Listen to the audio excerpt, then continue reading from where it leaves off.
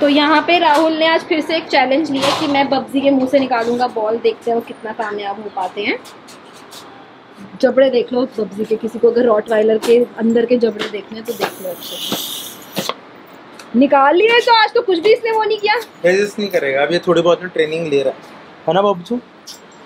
एक बार और once more ठीक है? बब्जी? ओए होए होए मेरा बच्चा। दिखा बॉल दिखा दे।